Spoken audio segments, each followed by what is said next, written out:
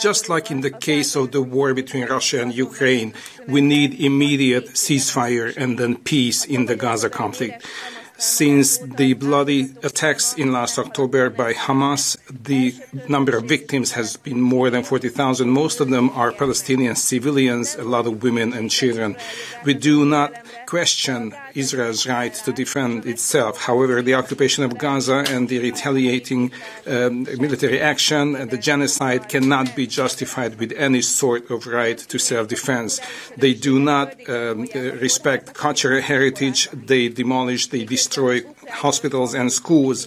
And while the Ukrainian-Russian conflict uh, goes on live in uh, the media in the West, uh, we do not see a fraction of the suffering of Palestinian civilians, even though uh, human rights and the, protect, the, right to the protection of human life is a right of everyone, regardless their skin tone, their religion, and their uh, uh, heritage.